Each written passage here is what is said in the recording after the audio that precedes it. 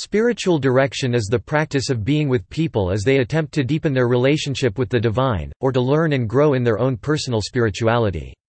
The person seeking direction shares stories of his or her encounters of the divine, or how he or she is cultivating a life attuned to spiritual things. The director listens and asks questions to assist the directee in his or her process of reflection and spiritual growth. Spiritual direction advocates claim that it develops a deeper awareness with the spiritual aspect of being human, and that it is not psychotherapy, counseling, or financial planning.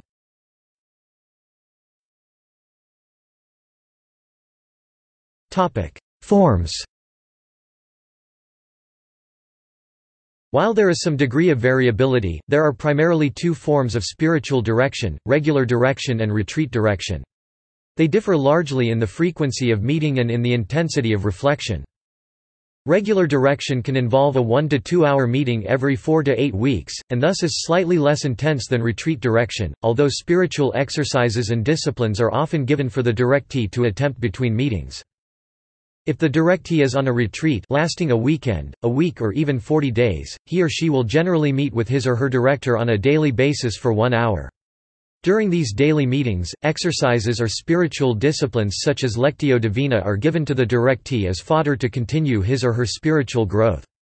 Alternatively, retreat centers often offer direction or companionship to persons visiting the center alone. The spiritual exercises of Ignatius of Loyola are a popular example of guidelines used for spiritual direction.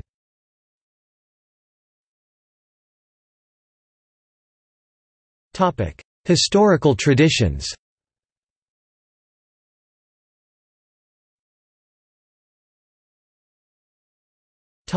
Western Christianity Within Christianity, spiritual direction has its roots in early Christianity.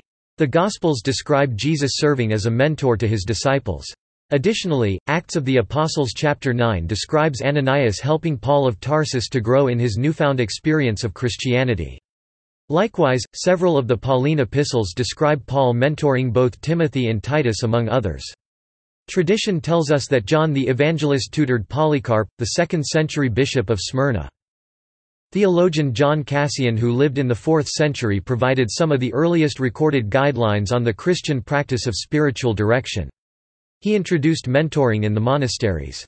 Each novice was put under the care of an older monk. Benedict of Nursia integrated Cassian's guidelines into what is now known as the Rule of Saint Benedict.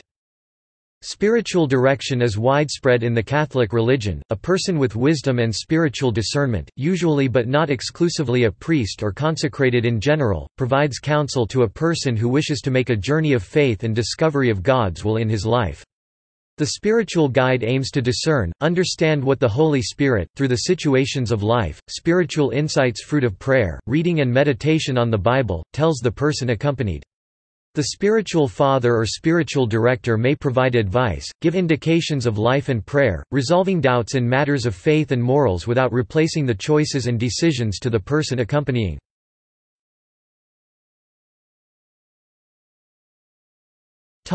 Eastern Orthodoxy Eastern Orthodoxy comes from the same pre-schism traditions, but the role of a «spiritual director» or «elder» In Orthodoxy has maintained its important role.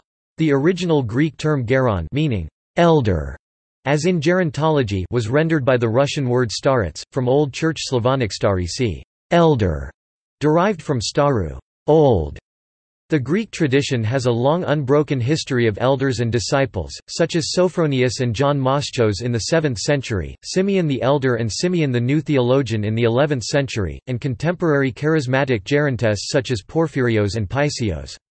Sergius of Radonezh and Nil Sorsky were two most venerated startsi of Old Muscovy. The revival of elders in the Slavic world is associated with the name of Paisius Velichkovsky (1722–94), who produced the Russian translation of the Philokalia. The most famous Russian starets of the early 19th century was Seraphim of Sarov (1759–1833), who went on to become one of the most revered Orthodox saints. The Optina Pustyn near Kozelsk used to be celebrated for its start schema Archimandrite Moses, schema Hegumen Anthony, Hieroschemamonk Leonid, Hieroschemamonk Macarius, Hieroschemamonk Hilarion, Hieroschemamonk Ambrose, Hieroschemamonk Anatole Zertsalov, 1 such writers as Nikolai Gogol, Alexei Khomyakov, Leo Tolstoy and Konstantin Leontiev sought advice from the elders of this monastery. They also inspired the figure of Zosima in Dostoevsky's novel The Brothers Karamazov. A more modern example of a starets is Archimandrite John (1910–2006) of the Pskov Monastery of the Caves, who was popularly recognized as such by many Orthodox living in Russia.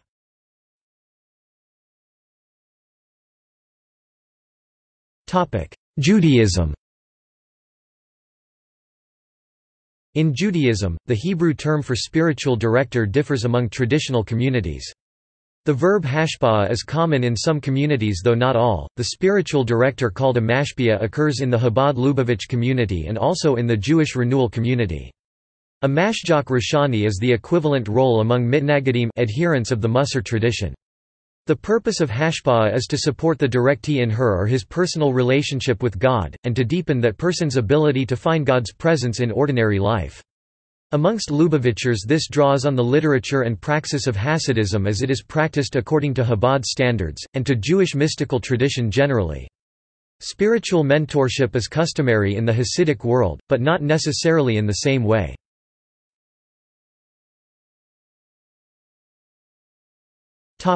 Sufism In Sufism, the term used for spiritual master is murshid, Arabic for guide or teacher. He is more than a spiritual director and believed to be guiding the disciples based on his direct connectivity with the divine. The murshid's role is to spiritually guide and verbally instruct the disciple on the Sufi path after the disciple takes an oath of allegiance or bay'ah with him.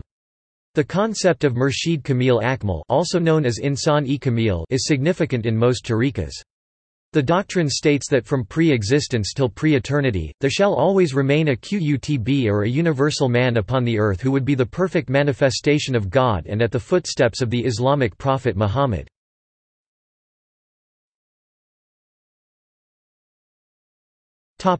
See also Ho'oponopono Murshid PIR Sufism Notes